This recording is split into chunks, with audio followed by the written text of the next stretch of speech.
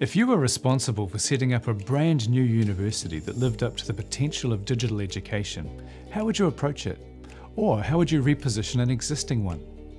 Hi, I'm Mark Nichols, author of the book Transforming Universities with Digital Distance Education. If you're involved in this area, chances are you share both my frustration and my hope. Frustration that higher education institutions are yet to really make the most of digital education and hope that eventually someone will point a way for it to really make a difference.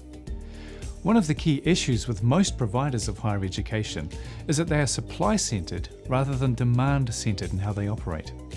This supply centredness means digital education simply doesn't make a valuable contribution to overall education practice.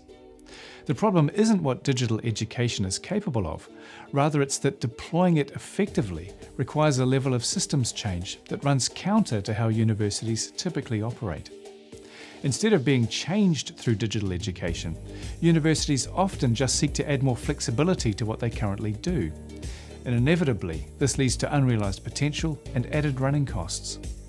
We should be asking some critical questions. Why should students have to study to semesters? Why do they need to attend lectures? Why can they not access a cost effective, high quality education experience in ways that fit around real life circumstances? There is no reason convenience, high levels of service, scalability, and cost effectiveness should not sit naturally alongside academic rigour and the demands of an education.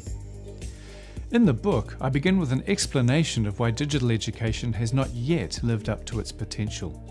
I also give an appreciation of formal education. What universities do is precious. They educate, they change people for the better. They benefit graduates, society, and the economy.